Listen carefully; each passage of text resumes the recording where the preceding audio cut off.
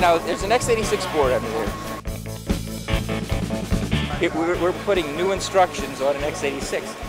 It's a two-U system. Two sockets. One socket has an x86 in it. The second U is the coprocessor. The other socket is connected to our coprocessor.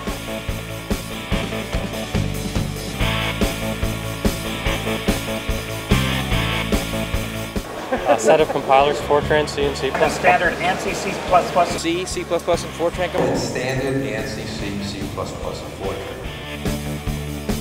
That's it, he's figured it out. It allows us to pack more processing power into a smaller space. We have a high-speed memory system that goes at 80 gigabytes a second. What is a personality? Coprocessor implements personalities. Personalities. Personalities are instruction sets. Personalities are in some ways the most intriguing aspect of the Convey coprocessor.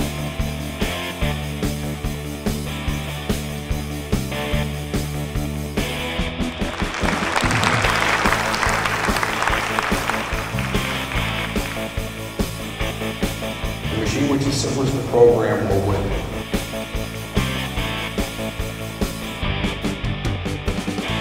If you're gonna do it, that's the way to do it.